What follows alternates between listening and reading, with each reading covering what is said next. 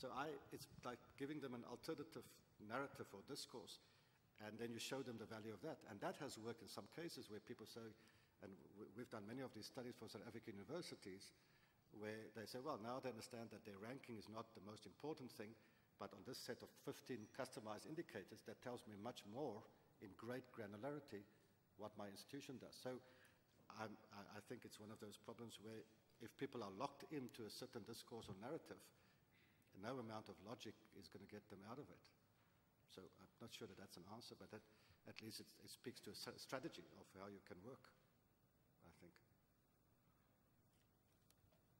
Question in the back? Full back? It's Michael.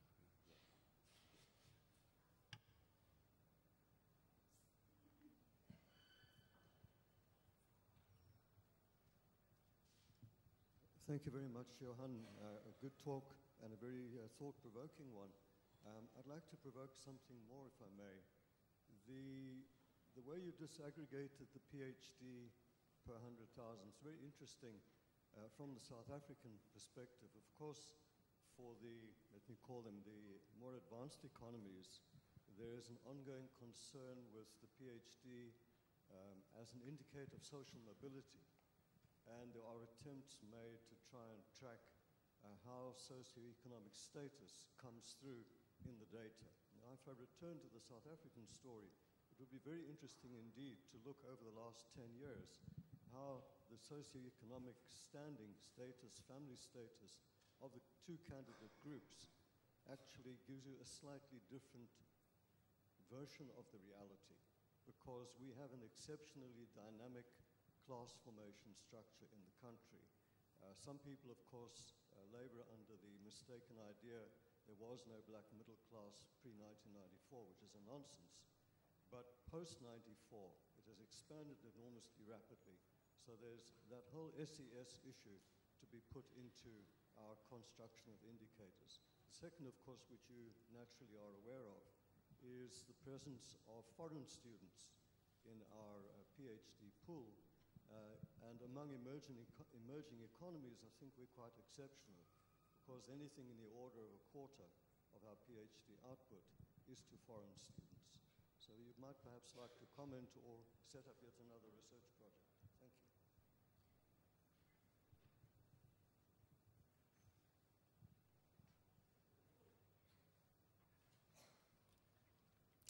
Let me start with the second question. Um, uh, Michael is correct one of the interesting dynamics over the last five, six years is that South African universities has become the destination of choice for many PhD students from the rest of Africa. And in fact, when I showed you the disaggregation by race, when I said black students, last year in 2015, 55% of those black students were not South African black students. They would come from Ghana, Nigeria, Zimbabwe, Kenya, etc. Because they, it's cheaper for them to come and study with us they don't pay, there's agreements, there's certain SADC protocols where they pay the same as South African students, so there's not a levy on them. But it's interesting, the vast majority of them are staff from African universities, which are also already in their, uh, in their mid-30s. So they don't change the age fact, the age distribution. So this 42 years average age of graduation has been very stable over the last five, six, seven years. So um, so the, the, the point about understanding the dynamics of knowledge doctorate production is what happens after the bachelor's degree. Because black students who do a bachelor's degree invariably do not have the fam family and other resources to continue study directly to a postgraduate course. And that's why the biggest dropout happens between after bachelor's, before the master's, before the PhD. For white students, it's not the same. So they go off and they have to they have to pay off a debt and, they, and so on. So the, you're quite right, of course, we have to track more clearly the, the impact of the growing black middle class and, they, and them sending their, their children. Most of them are first generation university students. But so this, this dynamics is not, I don't think, is going to change fundamentally. So our biggest problem is one, the one hand that uh, we have unlike in some European countries like in Norway or the Netherlands, you can have full-time scholarships, even you know, you study a study grant to do your PhD for four or five years permanently in residence. We don't have those things for most of our students. I should say, by the way, um, that there are big field differences. I haven't pointed to that. If you, you, can, you, can, you can add to this explanation because students in the natural sciences have a different profile. They, their age of graduation is about 34, 35. Why? Because if, if you're in the natural sciences and you do laboratory work, first of all, you can't study part-time. You have to be in residence in the laboratory. And they also progress from the undergraduate to the master's to a PhD. They get more full-time scholarship. At the other extreme, a PhD in education, the average age of graduation is 51. That 42 is the average.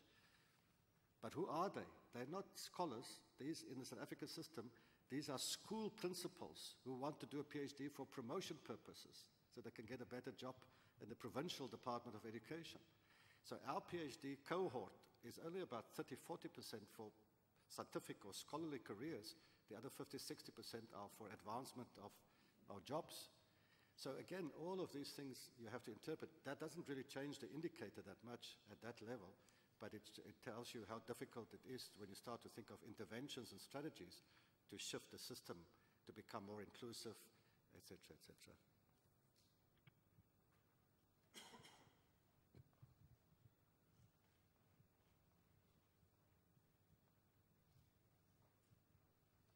Thank you very much for very interesting um, presentation.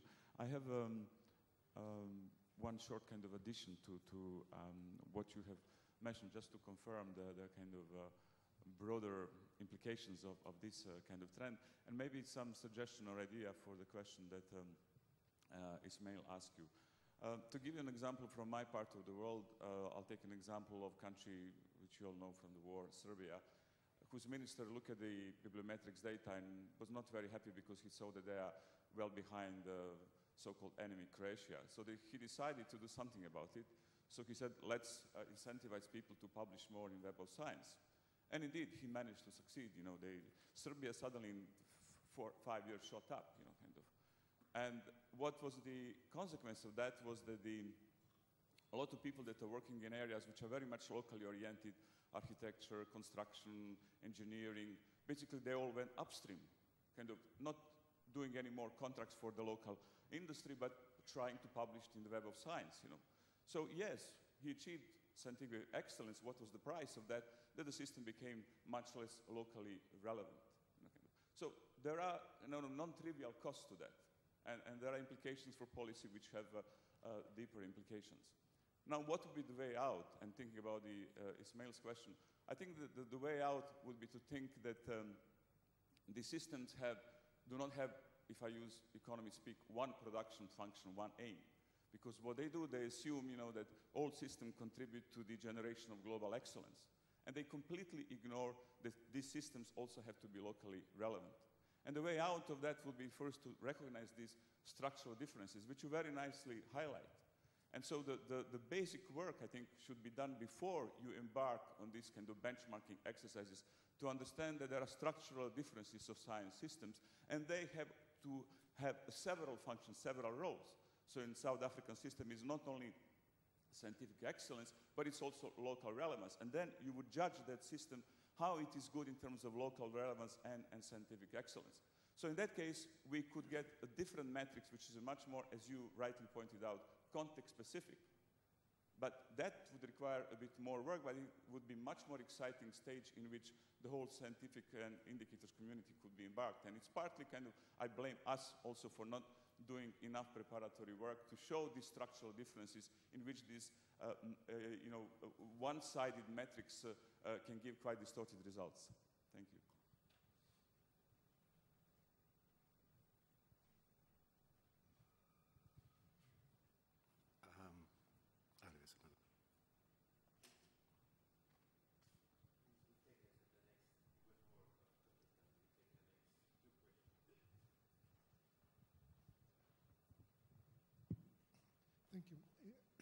I appreciate that you made reference to the body of literature on program evaluation, which during the first two days in the sessions I attended was completely neglected. And in fact, realistic evaluation, which was introduced 25 years ago, places great emphasis on context. And although I agree with your point about context specific, one of the problems, and I have perceived that in several sessions, is that there is an illusion that by taking the country as the context, that then the, the um, uh, becomes context specific. And the country clearly is not the context, and I think, or at least it's not the only context that has to be taken into account, but the subnational realities are very important. So I think that one implication in terms of developing indicators is uh, taking into account this type of triad in terms of context, in plural, mechanisms, and outcomes. Thank you. Thank you for the, the first comment. I absolutely agree. I think that um, the, uh, that is, in a certain sense, another form of reductionism if you think that there's only one solution or one production factor. And I think that um, perhaps I can give you another example where, for some reason, there is this, this is homogenization at another level. So in our own universities, so we, we are encouraged to uh, to pu pu publish in the Web of Science. And then all the deans of all 10 faculties say, gave the same instructions, whether it was health sciences or the arts faculty, uh, that an incentive will be given, that the double the subsidy will give if you publish in the Web of Science. And then one dean went even further and said, uh, we will pay you double the subsidy if you pay um, in journals that have an impact factor of five or plus. And then all the other deans followed. So I wrote a letter to the DVC for research, and I actually just put in two graphs. I went to the journal citation reports for that particular year. The top journals in sociology, the top journal, which was the Annual Review of Sociology, had an impact factor of 4.8. So there would be no journal in sociology that you could publish, whereas in the field of, it was uh, one of the, it was in cell science and molecular biology, the top journal had an impact factor of 19. And I said, what stupidity? That, don't you understand the differences in, in citation behavior? Of course they don't. But this kind of behavior where you think there's one solution every time, there's one strategy. So at least now when we engage with universities, we kind of emphasize to the vice chancellors for research, don't think of a single strategy, a research strategy, and a single reward and incentive structure for the whole university. Make it at least faculty specific and college specific then you will get more legitimacy. And of course, the other thing is you will get more buy-in and ownership from the academics. They're not stupid. They know that these, some of these indicators don't apply to them. Then they resist or they decide not to play the game. So I absolutely agree. It, it makes our life a bit more complicated, but that's fine as, because if we don't use the knowledge that we have about field differences and methodological differences, then we shouldn't even be in the game, I think. Uh, I thank you for your point. Um, yeah, I, I actually, uh, a realist evaluation uh, a la Pawson and Tilley in the 19, early 1990s is what, what we teach for our students. And they, but that's now at the program level. And the, and the, and the imp important implication is that we have seen in the last 10, 15 years, also in scientometric studies, that people want to do program impact assessment, especially social impact assessment at the program level. So the other thing that I think that we don't emphasize enough in our evaluative bibliometrics is the levels of analysis issue. You don't do evaluative bibliometrics or scientometrics at the systems level at the same, in the same way as at the institution level or field level or program level. Now people have large research programs or, or chairs, research chairs, and they want to use indicators that were developed at a different level for program level. And then you have to look at program outcome, outcome program impact, program value for money, return on investment. That's a whole different world. And the people who've done the most work in that field are the program evaluators. We have to go to them to learn, like the realist and the utilization-focused evaluation.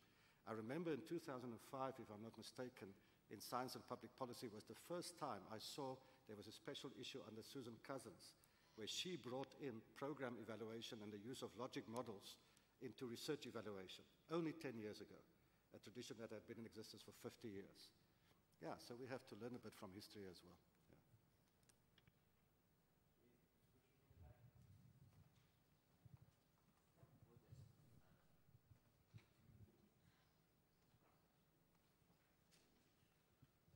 Yeah. Thank you. Um, I do share your sentiment that one simple uh, indicator um, is not able to capture the nuances. And um, people join a PhD program for many reasons, and people quit the PhD program for many reasons. And um, for instance, um, I, I, teach a graduate level course in um, library and, and, information science. And um, the first question that I really ask my students is that, uh, why are you here? And most students um, give me answer that, oh, they could not find a better job, so, and they have a you know, degree in history or anthropology or linguistics, and they, um, they hope that this uh, Master of Science in Library Science uh, degree will help them land a better job.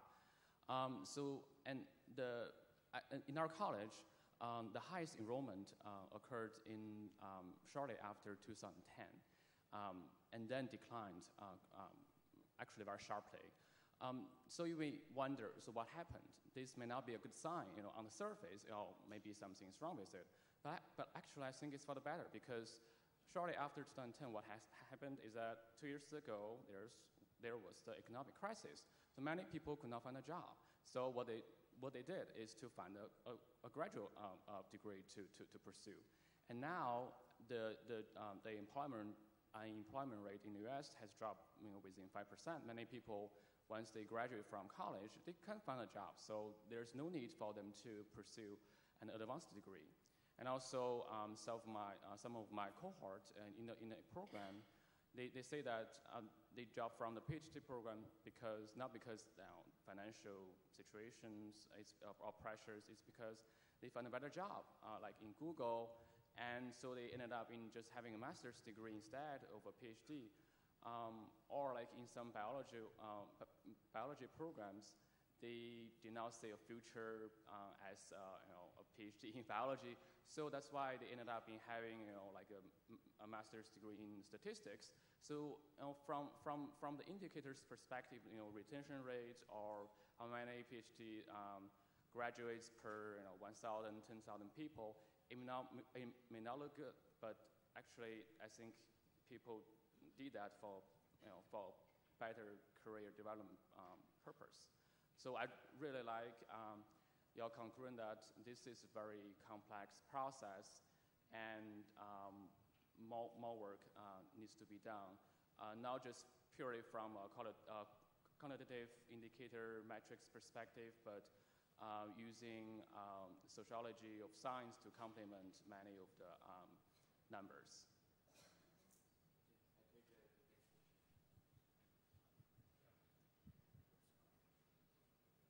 You want, if you want to answer, that's fine. I can wait for the question. But it's, it's a question that uh, is somehow related to this.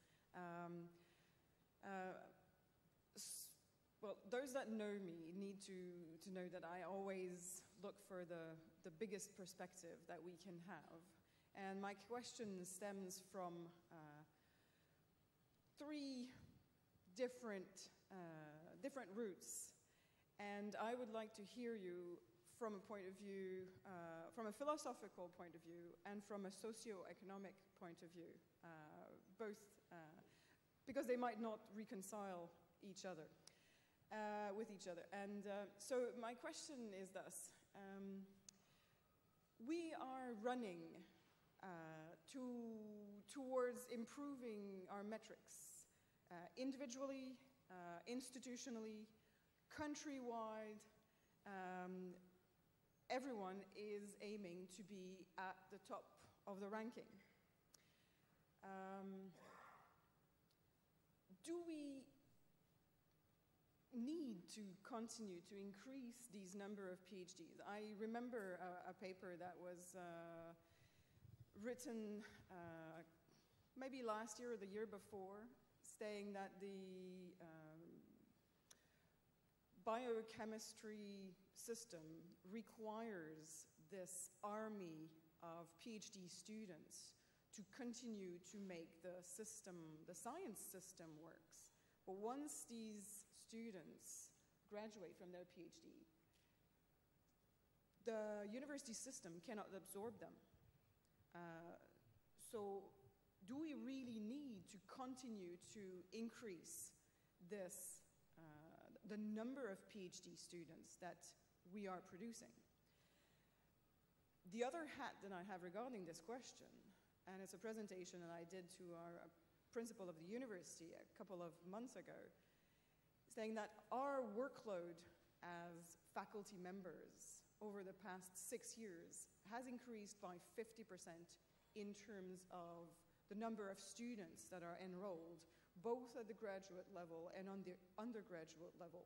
And as you know, at the graduate level, it's a one-to-one relationship. So an increase by 50% at that level is a direct increase of workload by 50%.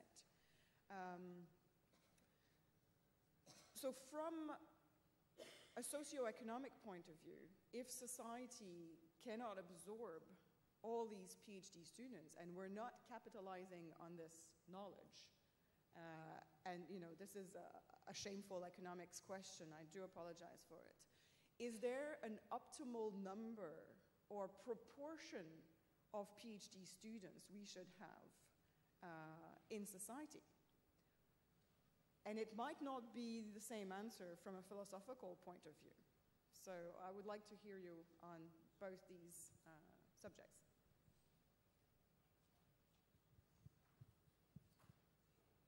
Okay. I think the first point was more of a comment, so I'll go straight. It's related to Catherine. Let me take the easy one first because I'm, I'm not a labor market specialist or a person who works on skills development or higher education employability. But I do think there's something, the, the relationship to indicators for me is the following. We know that indicators very often get a life of their own and they become reified. And now what happens is the old problem, and we know that from, for 50, 60 years, that indicators start to drive systems. It should be the other way around. So once you set targets in systems, then people think that they have to be achieved whatever the, the results. Now, in South Africa at the moment, two years ago, we released a national development plan for 2030. There's a target. By 2030, we should have 5,000 PhDs in the country uh, produced every year. So at some point, I asked someone in the Department of Science and Technology, how did you come up with this number? And they said, well, I'm not sure. Uh, we didn't do any calculations. We looked at a similar size system elsewhere in the world. I said, which one? They said, South Korea. I said, in what year? They said, about 10 years ago. And that's when they were producing 5,000. So we thought that's a nice target. Now you see, that's a ridiculous story, if it's true. I don't know how apocryphal it is. But you could argue that, I don't know, I mean, I'm sure people have made these studies to say that in certain cases, uh, there was this great paper recently in Nature about the history of physics, a bibliometric paper that you would have seen, which shows that over the last 50 years of physics, that per capita production in physics have doubled per person. So the individual productivity across the world has gone up. I think what's happening is that these numbers are, are clearly changing the behavior. They're forcing people to chase these numbers, these, chase these targets, these metrics. And that, to my mind, is all wrong. It cannot be. What, you have to look at what are the underlying institutions and policies, and are they correct? And do they serve the interest of the populace and the community and the society? And then you define your indicators afterwards. You can't the indicator cannot be the tail that, that wags the dog. That's, that's just stupid. Um, but I've seen so many examples of that. And it's usually an example of a, of, a, of a culture, a society, where indicators are seen as compliance devices. It's only about accountability. It's not about learning and improvement and stuff like that. So, so my first point is that, yeah, we have to be careful, especially with indicators where the indicators set a target deliberately or undeliberately. Sometimes, if you if that example that I gave of the PhDs, now we see 228 per 100,000 in Germany. Should every country try to strive for that? Well, of course not, because the German economy, the German society is not the same as in Slovenia, Slovakia, whatever. So you have to adjust targets to what works for your country and society, and that is a, whole set of other things. So I think that um, we have to be careful when indicators become to get a, a, life of their own and you cannot justify the underlying targets or values that you set. I think the other issue, I know my colleague Nico Cloete works on this all the time, how many PhDs is the required right number in the country? And obviously the people who work in labor economics, labor would tell you that it depends on the skills gaps. Do we need more engineers for this society, more doctors for this society, whatever? But I, I must say that at least in South Africa, we don't have the unemployability problem. I know in many countries, PhDs can't get jobs. In South Africa, only 2% of PhD students can't get jobs in the, in the first year. So we, can, we certainly can train. In the rest of Africa, they've set targets, NEPAD has set target for 10,000 PhDs a year. So at least in Africa, there's no question in my mind, we need more PhDs, even only to serve the science system, never mind, you know, the civil service or the rest of society. Okay. It's nearly time to wrap up, and before a big round of applause to Johann, I have a logistical announcement. Tonight at 6, after, after the last plenary, there will be a fringe event on the side about uh, participatory engagements